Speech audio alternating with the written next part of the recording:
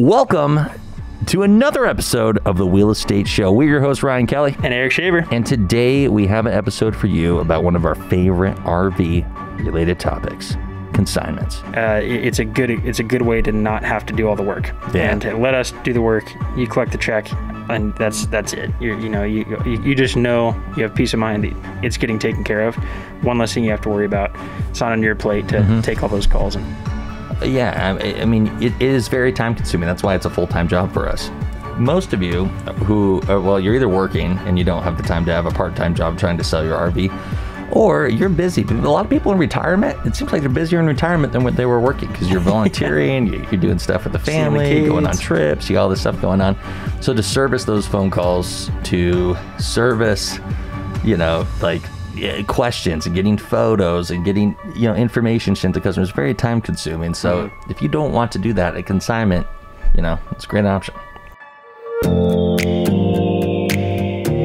Welcome to the Wheel Estate Show, brought to you by the top 50 dealer Beaver Coach Sales with your hosts, Ryan Kelly. and Eric Shaver. If you're here to learn about all things RV, you're in the right place. In this podcast, we sit down with people who build, buy, and sell RVs to bring you an in depth look at the RV lifestyle.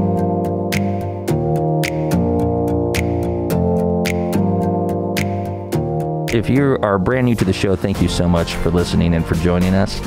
Uh, we are the authorities in the industry about RVs at this dealership before work starts on this podcast in this RV at this moment. And we stand behind that. We guarantee it.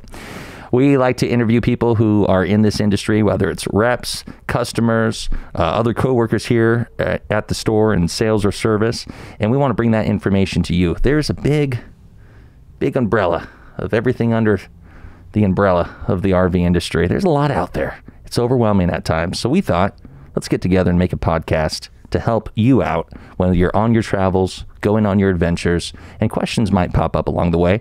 Like, for instance, we love our RV, it's been great, but we're ready to sell it, and we don't know how to sell it on our own. Not like conceptually, of course, you understand the transaction determine a value, sell it, collect the profit, pay off the trade. Anyway, but what we can do is help you in that process. So today we're going to talk about consignments. What that looks like. If you have an RV right now and you want to sell it but you don't know how to start, what that process looks like, listen to this episode. You're going to enjoy it. Eric, why don't you start us off with some framework here? What is a consignment in the RV industry? What's that look like? So a consignment is very simple. We bring in your coach, we do the hard work and the legwork, and we sell it for you. So basically, what happens is we make an agreement that for 90 days that coach is in our inventory, and what we do from there is we treat it as though it's our own inventory. So we clean it up, we, we market it, we put it on different websites to sell, and we bring in customers. We take trade-ins on it as though it's our own inventory. We get uh, financing on it as though it's our own inventory. So it becomes part uh, part of our dealership's inventory for that specified amount of time. Nice thing is you don't have to deal with phone calls in the middle of the night when people have questions on stuff or they can't get the slides out or they forgot this or that. Um, you don't have to deal with showing the coach, keeping the coach clean, any of the hard work. And oh my gosh, how many times too, you know, have, have people come in, oh, I need to. I want you to take my 1982 Winnebago on trade, and you don't want to do that. You, you're not gonna, you're not gonna have a use for that. We can, we can find a home for that thing. If So, you have a 82 Winne- Winnebago, call Ryan. we want it. Call me. Yep. Take that in in a heartbeat Oh, yeah. for cash or Gambler 500. equal cash value. So, and then at the end of it, we when we do sell it, there's a simultaneous transaction. Simultaneous. Simultaneously, It is Siamese. It happens at the same time, identically speaking, where the customer it's the mask. Where the customer The words get essentially caught up in we buy the RV from you, Yeah. and then the new customer buys it from us, and it happens like that. Siamese Tanius. Uh, let's break it down now. We just gave the over thousand, you know, ninety thousand foot view here. Let's break it down. Okay. It was not quite a thousand foot view. It was more like a ninety thousand foot view. Uh, the first thing that you mentioned was we detail inside and out. If you are looking to sell your RV, we understand that you've either been living in it full time, living in it part time, you've been using it. Now it's time to bring it in. Just get all of your stuff out of it, and we'll go through and detail it inside and out. So we have a really good detail department, probably the best we've ever had at the store. Uh, there's a lot of places that just you know, kind of wipe it down and send it through. Our guys are just meticulous. They really, really take their time, uh, especially with these these outsides with these you know thirty, forty thousand dollar paint jobs with three, four, five layers of clear coat. You you you don't want people you know scratching it up. So our, our detail department's really good at that. But we get into the bays, we get into all the back of the cabinets, we get into all the drawers, vacuum everything out. There- there- There's a lot of effort that goes into detailing and cleaning a RV that maybe you don't want to do and if you want to sell your RV. So that's another great reason to bring it to a dealership. True. Um, before any of that happens, the biggest part of a consignment is agreeing on figures and the paperwork side of things is figuring out, you know, because this is a question I get asked a lot. There's a lot of ways dealers will will structure consignment. Where they'll do a percentage or they'll do a, a net figure, different things like that. we found the best way in our in our opinion um, that we we've we've done it several different ways in the past, but the best way we seem to that we seem to have is to find a figure that we can net the customer after the sale of the coach. So um, if that coach, it, let's use hundred thousand dollars. So if it's a if it's a diesel pusher, we we come to a figure of hundred thousand dollars. Once we're agreed upon that number, we sign a contract for $100,000, meaning at the end of that sale, you're going to get $100,000 once we sell it. Obviously, as a business, we need to make a profit, so we mark it up, and we'll mark it up whatever you know we determine the market will bear, knowing that we're going to get offers, um, which happens all the time. And so people have trade-ins, they have offers. We need to have enough room in that number away from that hundred thousand to run it through the shop, to take a trade-in, to over allow on a trade-in when somebody's uh, owes too much on it, that sort of thing. So um, coming to that figure is the the most important part of the consignment before we ever even get it in the door is is getting that figure figuring out okay what what do you need to get out of it? Do you owe a balance? If you owe 120,000 we need you to pay that balance down to 100,000 if that's all we're, able to net you on that product. So that is a really really important piece of it. Um, we have in the past done the percentage deal where we, we will take we'll sell it and take 10% or whatever the cut may be. Um, and that's that is one way of doing it that that a lot of dealers tend to do but the, uh, we like the net figure because it keeps the the consignor in a little more control you know they, Well, they yeah. know from the beginning what they're getting into it's not an arbitrary number that we just made up it's it's you know exactly what you're getting into the second it rolls on the lot Right. so the, what, what a what a percentage does is anyone can just lower the price. Yep. Like if you are not a very talented sales individual, uh, you probably can just lower the price on something and try to get a sale. What Yep. what more experienced salespeople do is we build the value in the unit in your coach. And we show what the market value is, where other units comparable in age and condition or pr- are priced at, and and you know present present it that way. Show what we do in the shop and how we prep the unit and all that. Uh, so with a with a percentage, let's take that hundred thousand. Uh, so a dealership would get, let's say, ten thousand on that ten percent deal on the hundred thousand if we sell it for a hundred thousand. Yep. Well, then they could just sell it for fifty thousand and still make five. Yep. You know what I mean? And the sales guy could could easily okay, well, you know, instead of selling it for 100, I'll sell it for 80. Yeah. And then you're you're you're the one stuck as the consigner Right. at, at their mercy. The dealership made Yeah, made two grand less. You made twenty thousand less. You know what I mean? exactly. So exactly. A net holds it a little bit stronger, forces the dealership to build value into that unit Correct. and go from there. Exactly. We, f- we feel that's the best way to do it, but Yeah. you know, it's it's case by case. It's It not always the not always the situation that people want to do, but that's that's the main way we do it. And we always what, what I like too is we have we have a we've come to a really good place in our consignments where we've kind of got that system dialed in Mm-hmm. to where we know we kind of know exactly not exactly but we have a really good idea of what things are going to sell for um, Yeah. and we, we've we've done enough business where we have we're pretty spot on with our numbers usually um, it's pretty rare that we'll bring something in for a price that we can't get somebody so you know it's Mm-hmm. it's uh and when we always offer we, we, we give the consigner offers as well you know it's it's That's one a great thing point, Eric. One thing about it is, you know, and I've had this happen in the past where, you know, if, if we've agreed upon a hundred thousand, but I have a guy standing there with cash ready to buy the motorhome, but we can only net the consigner on the sale because they've their their offer is low. We can only net them ninety or ninety five. The, it's the consigner can still say yes or no to that. Right. And so you can say no, and that's fine. We'll move on and find another buyer. I mean, it's it's not you know it's a decision that's made through everybody and not not just through the dealership too. We don't have complete control to just be like, nope, we're going to lower your consignment price. We, it's it's a discussion. We figure out, okay, is it worth taking this offer? Mm-hmm. And if the coach has been here six months and hasn't had any any movement on it, then maybe it is time to consider a lower price. You know, but yeah, the nice thing is it's always it's always in their control. And I, I've had customers too that have have known that and have had a bad experience in the past where where they've tried to consign their coach and then you know you get going and, and the uh, and the dealership just just constantly calling them, undercutting them, trying to get you know trying to use it for profit as opposed to trying to use it to help use an offer to help sell the coach, help the new customer be happy, sell it for the consigner. And we would never go to that. We would never call the consigner with a lower offer unless we've done we've exhausted all of our options. We've lowered our profit to the point where we can't anymore, that kind of a thing. So, but it, it's still it's all about control. The consigner still has control of their motorhome that's being sold. You know, so you- they're kept in the loop the whole time. Yeah, but uh, you're right. At the end of the day, it's your RV. We're just representing it for you, which is Yep, also yep. why we can get you a little bit more for it. Think Exactly. this. Like Eric said, let's say it takes six months to sell your unit. Okay, the reason why a dealership's willing to give you more on a consignment than a trade-in value is because you essentially float the risk of it. From the standpoint, let me put it like this.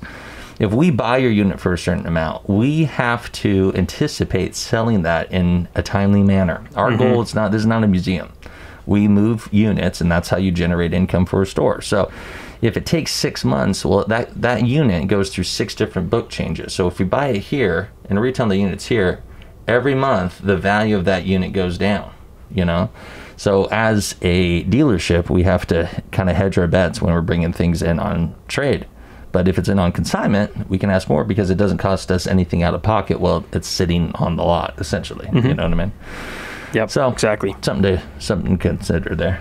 Totally. Well, that, you know, as a dealership, we look at it as an investment, right? You know, how much, how much can we can we, like you said, risk for the the potential of how much reward. But yeah, anyway, yeah, it's uh, it, it's it, it's a good good alternative to a trade in where you can capture more and put more in your pocket for the same product, which is really cool. So, um, Well, another thing I want to talk about here with consignments Yes. that's that's big. You, you touched on it kind of in the introduction there, but it is not being an RV salesman. You know what I mean? From the, from the standpoint, you, oh yeah, yeah, yeah. yeah. I, I mean, it is very time consuming. That's why it's a full time job for us.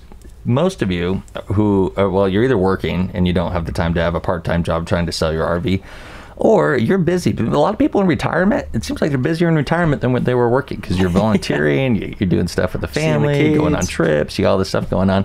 So to service those phone calls, to service, you know, like questions and getting photos and getting you know information sent to customers very time consuming. So Mm-hmm. if you don't want to do that, a consignment, you know, it's a great option. Well, I've had I've had a good example of this. Um, customer of mine, I won't use his name, uh, but he he tried to sell his RV and then ended up consigning it with us rather than trading it in. Sure. Exactly what we're talking about. And um, during the sale process, he's a busy guy. Like he, he runs he runs he has over over 200 uh, employees underneath him that he's in, in charge of. So he's he's like he's got a lot on his plate as Wow. it is. So he kept having people call him, and he had a big Entegra coach. So this is a, you know a high dollar item he kept having people call him. You think you're going to get qualified buyers when you try to sell something on online. What I when I do it on Craigslist or whatever, you know, I, I expect okay, people are going to contact me if they're qualified and ready to buy something. It doesn't happen. So what he what ended up happening with him is this guy made made an appointment on a Saturday. So he's he's also a pilot and he mm-hmm. canceled a flight and all this stuff because he's he's like okay, well I got to be here to show the coach. Guy no showed him, and so Oh, come so he's he's changing all of his plans of the little time that he has, and it's it was it was super frustrating. It happened to him like three different times on different occasions of you know the same thing happening where people would would not show up or they would show up and then offer an absolutely overwhelmingly ridiculous price Sure. and so he would waste all of his time and, and then for for absolutely nothing so finally he he realized kind of what we're talking about where the the time the effort you have to put in on time is it was just not not worth the payout so Yeah. for a little bit less we did all the legwork and we got the coach sold for him relatively quickly. I think it was like a month or two. I mean it was not it didn't stay that long. So um yeah that was a that was a very very good tangible example of that happening. And and he gets it you know? And and we, we had a we had to talk about it. He's like he's like man this i see why this is a full-time job. Because Yeah. it's you know getting all of that to one to, to the final sale is a lot of work. But Yeah. anyway. no, it makes sense. And does. a- advertising wise, think about it. I mean, uh, we have an absolute marketing machine at our store. Yes. With four employees in the marketing department. Five. They're- Who's the fifth? matt Matt's the fifth. well We kat was the Matt, fifth We got Jared. We got Katie. these three are here katie matt Matt, Jared, Katie. cody Katie. Oh, son of a gun, Cody! Look at you. And Katie too. Hey, buddy. I didn't forget about you. I it's early and I can't drink my coffee into the microphone. So sorry about that. We all struggled through that one with you. That's embarrassing. Wow, we could we could cut that one out, Jared. Okay. Oh, he's gonna leave it. No, it's in there. Cody, love you, buddy. Wow, that's embarrassing. So anyway, we have a lot of people in our marketing department, almost as much as sales, and these It guys exactly advertise in the United States of America, in Canada, uh, not much overseas, kind of domestically here. That's the hot stuff. We haven't had a lot of sales overseas yet. No, Really trying to build It's really business. hard to move, like take an RV and ship it across an ocean. Yeah. I'm told. I haven't tried it, but I'd imagine it'd be difficult. yeah. So being able to advertise that wide is great. Now, a lot of people, if you go on Craigslist, you can put in your local market, maybe a couple other cities that are surrounding you, and see what you get. But you know, there's there's some weird people on the internet. Oh, and on Craigslist. Have you ever sold something on Craigslist lately and you get like all the text messages of, Yes. hey, I've got a cashier's check. Just put it in the mail. Yeah, yeah, yeah. I'm not putting it in the I'm mail. not putting the cashier's check in the mail. I should have sold five wheels and tires Put today. ten thousand dollars in my account, and then I'll put put ten thousand one hundred in your account. I'm like, this is, It doesn't make sense. does. Craig know about this? This list is messed up, this man. is not working. So that's why we're here for you because it's going to be on our website. Uh, Cody, RV Trader. he's going to take really good photos of it Yes. Yes, he is. inside and out. Yes, It's going to look really good. it is. A lot better than you on your cell phone. No offense. Those, The way the coach is going to look better than you, that's kind of rude. no, no, no. The coaches are going to look better Than if with our photo- cameras than Ah, with your man. cell phone. You just insulted an entire No, no, no. swath of people. No, Rude. no. It will look better than you as well. Um, after we've marketed it and sold it, this is a very important part. We go through the coach and we identify any issues that may be on the coach. And uh, this is one of my favorite things. One of the, one, one of the biggest myths in the RV world. My coach is perfect. Listen, if you're listening to this podcast, I have to be brutally honest with you. No, it isn't. Your grandchildren Ever. are not perfect. It is not perfect. I love you. I love your motorhome. It is not perfect. There are problems with it. I've fixed all the problems. No, you haven't. I promise. It's kind of like if you walk into a doctor's office and you say, "Hey, doc, what's wrong with me?" He has no idea until he takes a blood test and you know figures out you know, a, a lot more in depth, in depth. You know what's going on, right? You can't just look at something and be like, "Ah, it's perfect." blood pressure, temperature. Yeah, it's perfect. Everything works. Well, except the fridge. We, we never use the fridge. Well, then there you go. Problem solved. So anyway, we go through this thing tip to tail, and we do a deep, deep, deep dive on the motorhome to figure out not only is everything functioning, is it going to continue to function to the the level of which it should be. So when we go through a coach on a on a consignment trade in anything, we go through it within our shop and we, we we determine what needs to be fixed and we have that conversation with the consigner too because you know obviously it's not our inventory it's not our responsibility to spend $10,000 to fix a motorhome that we don't own but we have a discussion about okay you know Right. obviously these things these light bulbs of course we're going to we're not going to charge you for light we'll put the light bulbs in not a big deal but you know when we have an issue like a fridge you know that's a discussion that we have and Or and if uh, batteries are shot, or, or- yeah. or if tires are, are outdated. Yep, because at the end of the day, it falls back on on us when we sell the coach. We're representing someone else's coach on a consignment. So Right. this is this is a very important piece because it's something that we always talk about when we bring in a consignment. Is is you know what what are the known things that are wrong with it? Um, windshield's cracked. I have a customer that brought their consignment over from Idaho, and they're so awesome. They already knew, of course, the windshield was cracked. So before they even got it here, they set up with our local glass dealer. Really? They called, set it, set up the appointment, got everything done and dialed in, and says, "Here you go. All you need to do is give them the claim number." great. And and so that kind of thing helps us a ton. Mm-hmm. And knowing ahead of time that if we find stuff, we're going to have to have it fixed one way or another. Um, Which is why if you have an extended service policy, we get Yes. that up front. We can get it in the shop, and anything that can be covered under extended service policy, that way it Yeah. costs you less Yeah. and us less to get the unit prepped. totally. It's better. And all, all, all this to say, we actually cover the prep portion, or not the sorry, not the prep portion, the uh, um, the so we PDI portion. the prep portion. no, we, we cover the we cover the Don't the lie to America. he just insulted America. Wow. So the the the actual PDI portion, which is 12 hours of a technician's time, which costs us 1,800 or so on average, and what is a PDI, Eric? pre-delivery inspection. That's where we find out all of the things that you had no idea was wrong with your motorhome, Perfect. And uh, we, we that's the deep dive. so anyway, that we we spend on average, let's say 1,800 per unit that that goes out just just Sure. to in the finding process. This Right. isn't even we haven't even turned a wrench yet. This is literally just figuring out what's wrong with it. So we go through plumbing, electric, Yeah. slide outs, generators, we drive it. The awnings, the Mm-hmm. uh, appliances on the inside. We go through the whole thing tip to tail. Yep. And Safety, livability, functionality. That's right. And and the most important thing to take from this is that it's the nice thing is you don't you're not responsible if you sell a private party and somebody calls you and they have issues with it. Um, you're not going to be backtracking trying to figure out how to how to solve the problem. All these different things that, that may come up. We're It- the buffer between you and the customer. Exactly. When they have an issue, you know, which which RVs do have issues, believe it or not. Uh, when they go down the road in, in your coach, you're not getting that phone call. Like we kind of touched on briefly. Like, you know, how many times have we had to run out to a coach to, to do a little fix it because something, you know, didn't function quite right? I mean, Mm-hmm. we take on that burden, which is uh, another thing that can be extremely time consuming trying to sell it on your own. Um, so that's kind of nice. It, it, helps. It helps uh, Mm-hmm. as a consigner. You know that you're, you're not taking on that that burden. We'll go through the coach. We'll do we'll do the pre pre delivery inspection for the new owner. Make sure that they're getting a, a De- quality working it. rig. Detail it. Set talk about up- detailing. Set up five minutes for it. Yeah. All that stuff. No, it's Yeah. good. Yeah, the buffer huge. between you and the customer is uh, is a big deal. Like I said, there are some weird people out there. But keep this in mind. If you were thinking about selling to your friend, if your coach has never had any issues with it ever, a guaranteed way for your motorhome to start like acting up and causing issues and stuff is sell it to one of your best friends. Because what will happen is then you'll get a phone call, gosh, this is broken, or this isn't working, or I don't oh, understand no. this, a lot of user error stuff, or the, you know, your neighbor, sell it to your neighbor, and they will be knocking on your door nonstop.